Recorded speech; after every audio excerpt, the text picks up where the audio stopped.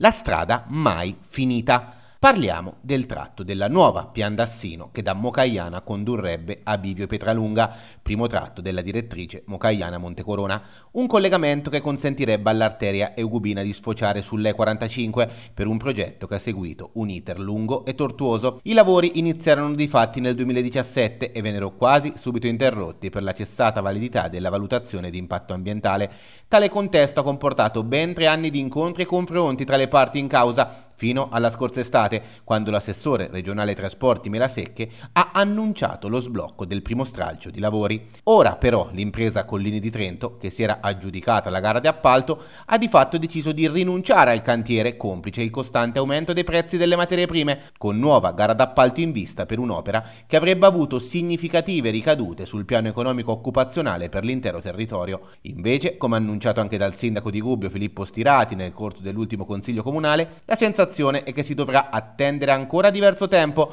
per ammodernare un'infrastruttura che possa consentire ad automobilisti e camionisti di usufruire di una rete stradale adeguata e funzionale. La questione della variante eh, 219 per quel che concerne il tratto Mocaiana e Bivio di Petralunga sta eh, in qualche modo eh, evolvendo in senso molto negativo eh, verso addirittura una nuova gara d'appalto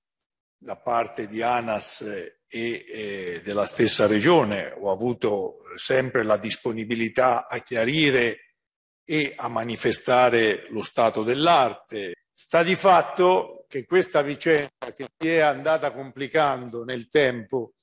ma che ha un, un, peccato originale sul quale non posso non ribadire quello che ho, ho detto altre volte.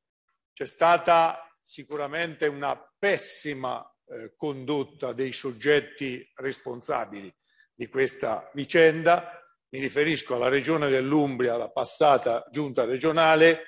e non so se anche alla stessa ANAS di allora, perché questa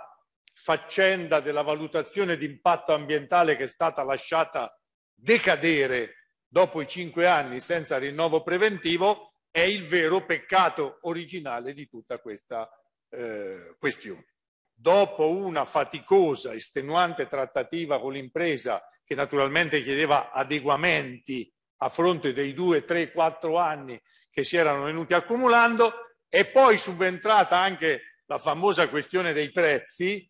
che sono schizzati in alto, quindi figuratevi se è aperto un ulteriore fronte e quindi eh, le dichiarazioni rilasciate dall'assessore Melasecche qualche giorno fa mi pare che denotino proprio questa situazione di, di resa, di presa d'atto che non ci sono le possibilità per procedere alla, diciamo così, a, a, ai lavori eh, attraverso l'impresa che era risultata vincitrice. Quindi ribadisco un fatto molto eh, negativo e riconducibile a una gestione della vicenda eh, di alcuni anni fa eh, a dir poco negligente.